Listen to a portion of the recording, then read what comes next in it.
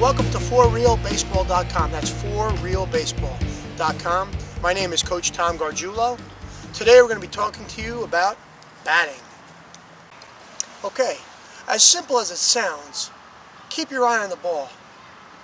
You can't hit it if you can't see it.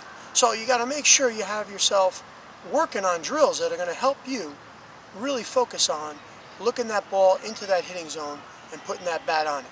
One of the best drills I found is a shoulder-to-shoulder -shoulder drill. Shoulder-to-shoulder -shoulder simply means when we're looking at that pitcher and we're, we're tracking that pitch into us, as that ball is entering the, the hitting zone and we're starting to move our hands to the ball, our chin is going to be somewhere out or above our sh front shoulder. And as we start to swing, we're going to start rotating our back foot pivot. We're going to start bringing our hands forward. Our front shoulder is going to vacate. It's going to move out. Our head's not going to go anywhere. Our head's going to be still.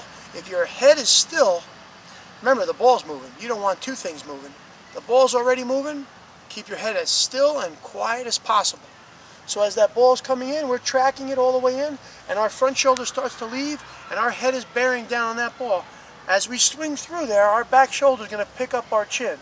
So we finish from the front shoulder to the back shoulder. Again, there goes the swing, and my head doesn't move, but my body swings around my head. Nice, quiet head, shoulder to shoulder.